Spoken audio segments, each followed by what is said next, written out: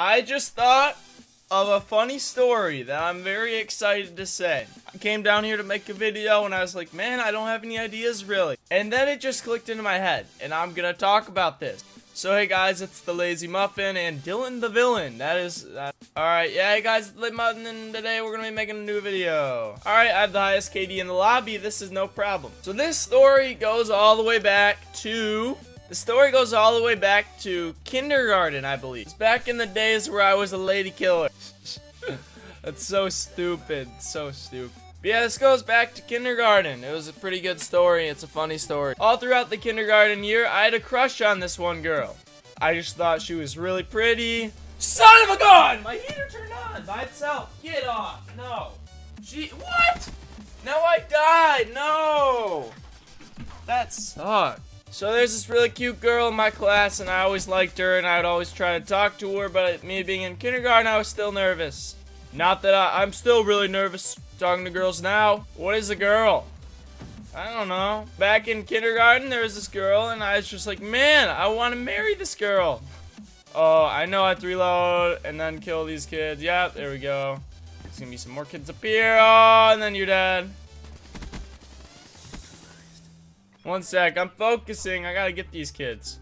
So what I used to do with this girl, since I liked her a lot, I would always like play with her in the playground. Like during recess, I'd always ask her to play with me. we'd always like swing on the swings and stuff, and we'd just, I don't know. So one day I was like, man, I gotta pop the big question. So one time when I was at like Meijer, oh. So one time when I was at a grocery store nearby us with one of those vending machines, like one of those things where you put a quarter in and you can get a gumball.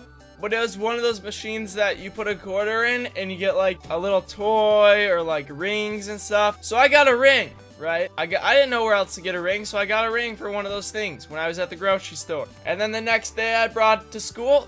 And after our class, I went up to her and I was like, I got down on my knees no, I'm just kidding. I didn't go up. I didn't do that. I just went up to her and said, blank, not gonna say her name. Because she probably knows who, like, I still know who she is. Like, like, that's why this is a pretty funny story is because we're family friends and stuff with this family. And it just makes it kind of awkward, but it's really funny. So I went up to her and I was like, will you marry me?